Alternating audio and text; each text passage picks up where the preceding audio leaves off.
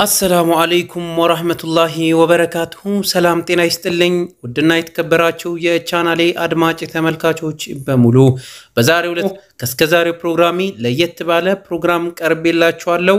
እሱም የሚሆነው የወርቅ የዋጋ ዝርዝሮችንና እንዲሁም ደግሞ የወርቅ የተለያዩ ዲዛይኖችን ይዤላችሁ ቀርብ ያለው በውጭ ሀገር አለ፣ እንደዚሁም ደግሞ በሀገር ውስጥ አለ።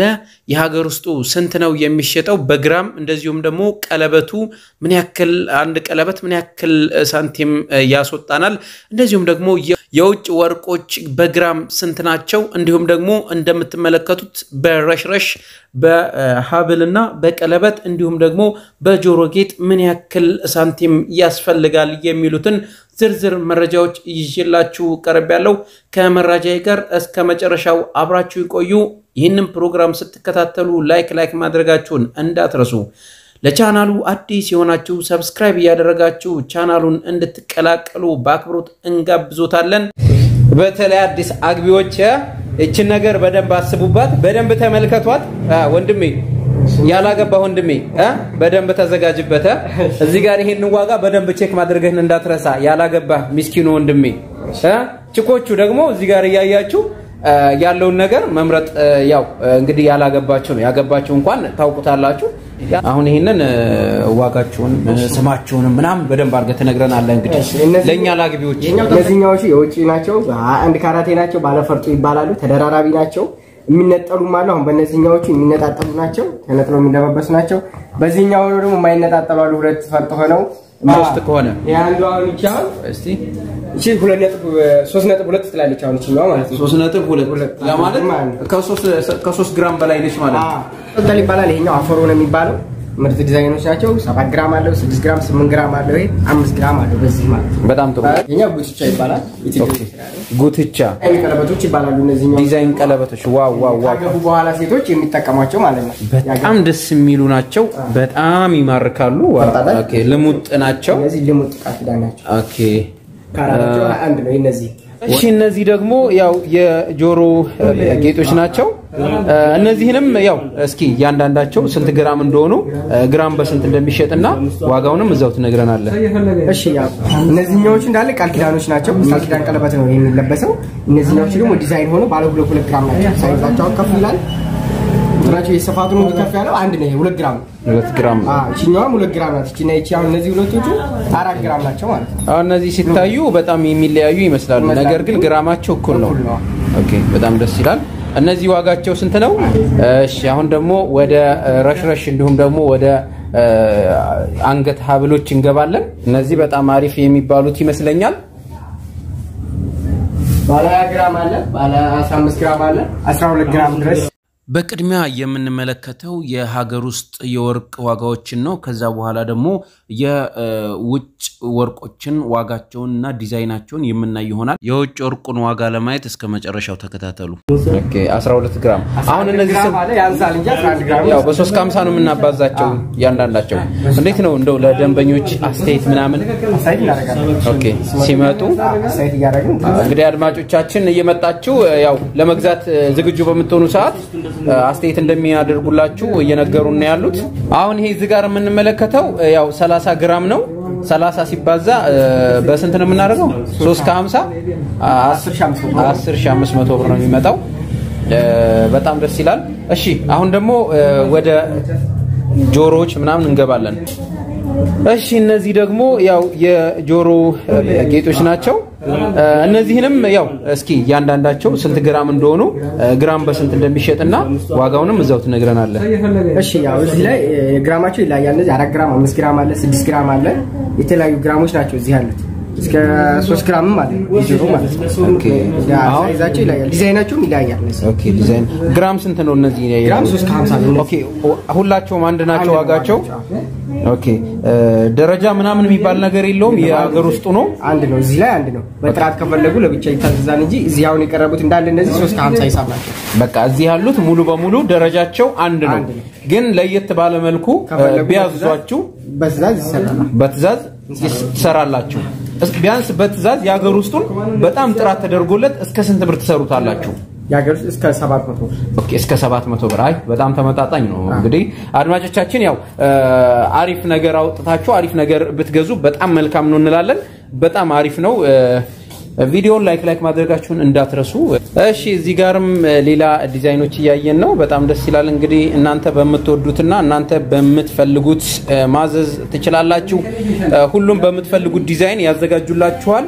እንዲሁም ደግሞ እንዴት ነው ከውጭ ሀገር ዲዛይን ይዘው ቢመጡ በሀገር ውስጡ አድርጋችሁ ትሰሩታላችሁ። ይሄኛው ጠልጠል ይባላል። ይሄኛው አፈሮ ነው የሚባለው። ምርጥ ዲዛይኖች ናቸው። ሰባት ግራም አለው፣ ስድስት ግራም፣ ስምንት ግራም አለው። ይሄ አምስት ግራም አለው። በዚህ ማለት በጣም ጥሩ። ይሄኛው ጉትቻ ይባላል። ጉትቻ። okay እነዚህ ናቸው ጉትቻ የሚባሉት። እነዚህ ግራም፣ አምስት ግራም አላቸው፣ ስምንት ግራም አላቸው። በእነዚህ በእነዚህ የአፍንጫም አለ የተለያዩ okay የተለያዩ የአፍንጫዎቹ ውስጥ ናቸው። እሺ አሁን ደግሞ እነዚህ የምንድን ናቸው? እስኪ በደንብ ጉባጉብ ይባላሉ። የአንገት ነው እነዚህ የሚደረጉት። ጉባጉብ ጉባጉብ ይባላሉ። ጉባጉብ ይባላል። በአንገት ነው የሚለበሱት። okay በዚህ ማሰሪያቸው ይሄኛው ቀዩ ነው የሚደረግላቸው። በጥቁር ሻሽም ይደረጋል፣ በዚህ በቀዩ ይደረጋል ማለት ነው። okay አሁን ይሄ ይሄ ማድረጊያውን አሁን ይሄ ልብስ ነገር ነው እና የሆነ አብለጭላጭ ልብስ ነገር ነው። በወርቅ ማድረግ አይቻልም? ይቻላል፣ ይሻለላል እንጂ ይቻላል። ግን አይቆምም አንድ ቦታ። እንደዚህ ሲሆን አይቆምም። አይቆምም። በጨርቅ ነገር ምናምን ሲሆን ግን ነው የሚቆመው አንድ ቦታ ማለት okay ነው። አሁን ይሄኛው በአንድ ነው። ይችኛዋ በነጠላ ለበሳ አይችልበት ማለት ነው። okay እ፣ ይሄኛው እዚህ ጋር ስንመጣ ደግሞ ይሄኛው እንደዚህ ነው የሚሄደው ማለት ነው። በአንድ ነው እንደዚህ ሶስቱ በአንድ ነው የሚለበት። ይሄኛው በአንድ ነው የሚደረገው። እነዚህም ግራም እ፣ በ ግራማቸው 25 ግራም እና 20 ግራም 30 ግራም ነው okay ስለዚህ ሶስቱ በአንድ ላይ ሶስቱ በአንድ ላይ ነው። በአንድ ላይ okay። የተሰሩትም እንደዚህ ነው። በአንድ ላይ የሚደረጉት በልብስ ተደርጎ በጥቁር ሻሽ ተደርጎ ያምራል።